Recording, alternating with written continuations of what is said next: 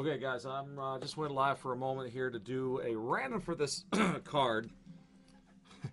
it got so late, and I had uh, my helper Paul here, and I just hopped off and didn't even think about doing this card. So let's do the randomizer. This was in the six box baseball mixer from last night. 24. I just did my homework on it, and uh, of course, nobody owns over 50%.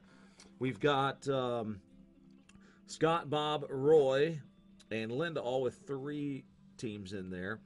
I got uh, Randy, Wayne, Shane, Edward with two teams, and then Joe, Bruce, Jeffrey with one team each. So I got all the MLB, MLB teams on that card in the randomizer. And uh, we're all set, ready to go. Dice roll. All right, so we're live at 241 in the East. All right, here we go. Three base number plus five. We're going eight times. All right, from the top of the card left across. Cubbies to Cardinals. So Kris Bryant down to Yadi Molina. Eight clicks. Top team after eight clicks will own the card. Good luck, guys. Two, three, four, five, six, seven. And the one that counts, number eight. After eight. Scrolling up.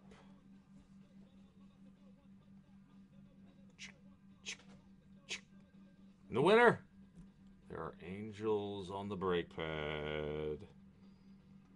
Roy, congrats. Roy had uh, three chances, including two of the angels. So we'll call it a, a, a trout was fished out of the BreakPad. Congratulations. All right, Roy. Sweet, man. That Posey's got some gunk on it. Rest of them are pretty clean jersey pieces. But that is a treasure chest numbered 42 of 99 with a lot of great stars on there. All right. Thank you guys again for joining last night.